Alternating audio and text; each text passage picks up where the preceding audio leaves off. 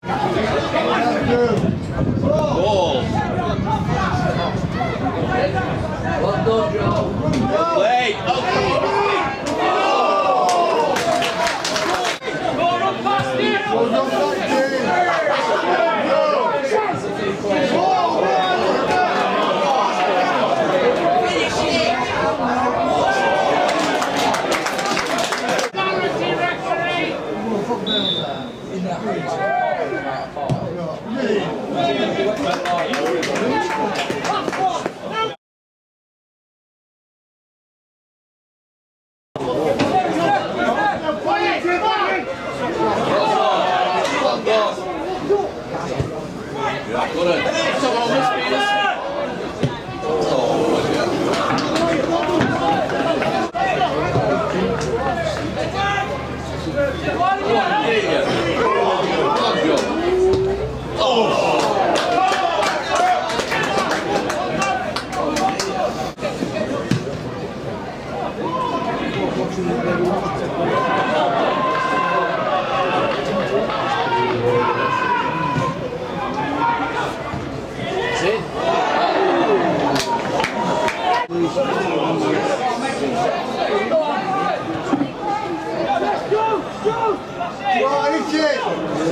Left foot.